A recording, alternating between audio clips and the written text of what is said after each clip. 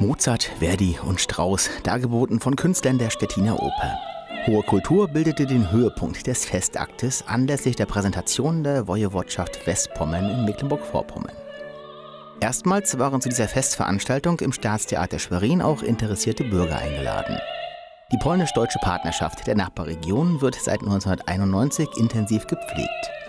Ministerpräsident Erwin Sellering und der Marschall der Wojewodschaft Olgierd Gebliewicz betonten die Wichtigkeit des Vorhabens, die Metropolregion Stettin auf deutscher und polnischer Seite weiter auszugestalten. Die Spitzen beider Regionen kommen einmal im Jahr zu einem Treffen zusammen. 2017 wird Mecklenburg-Vorpommern dann wieder in Polen erwartet.